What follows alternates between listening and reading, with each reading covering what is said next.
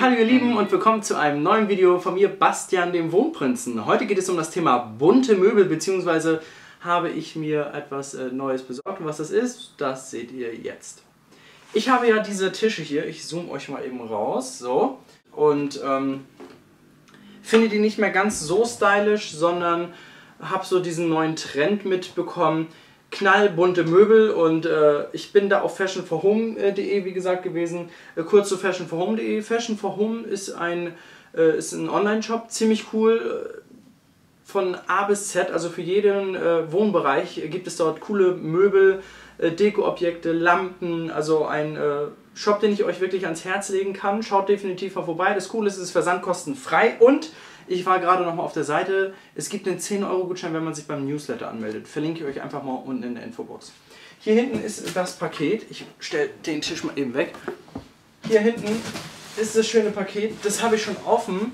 Und äh, wie hat der Alfred immer gesagt, ich habe da mal was vorbereitet. Und äh, das habe ich auch, denn ich habe den Tisch bereits aufgebaut. Hier, zieht euch mal bitte die Farbe rein. Der ist knallgelb. Damit holt ihr euch so einen Eyecatcher in die Wohnung. Und äh, das ist so quasi mein neues, meine neueste Errungenschaft, mein neuer Tisch von Fashion for Home. Ich habe davon zwei und ähm, das ist ein ziemlich cooler Tipp von mir. Wenn ihr nicht viele Farben in eurer Wohnung habt, dann erlaubt euch ruhig ein knallbuntes Möbelstück. Ob das ähm, wie hier jetzt ein äh, Tisch ist oder zwei, eine Anrichte oder ein knallbuntes Regal, ein knallbunter Schrank oder auch ein Sessel, dann ähm, ja, holt ihr euch einen richtig coolen Kick mit rein. Das ist so, so zum Thema äh, knallbunte Möbel. Äh, da werdet ihr auf Fashion Forum fündig. Mein Tipp oder was ich gerne machen möchte mal für ein zukünftiges Projekt oder wenn ich umgezogen bin, ähm, möchte ich mir so eine Drehecke, wo ich meine Videos in Zukunft drehe, machen die Wand in einem schön warmen Grauton, also schöner satter Ton, nicht hell, sondern dunkelgrau.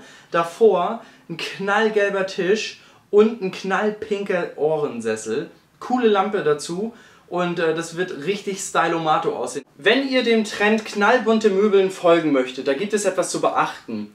Äh, man kann eine Farbe wählen und dann eine neutrale, wie zum Beispiel ein Grauton, den ich gerade erwähnt habe. Oder man nimmt noch eine zweite Signalfarbe dazu, wie eben schon erwähnt mit dem Pink. Das ist ein krasser Kontrast, das passt definitiv zusammen. Und ähm, je krasser der Kontrast ist zwischen den beiden Farben, desto besser wirkt es am Ende. Aber immer darauf achten, dass die Farben auch zueinander passen.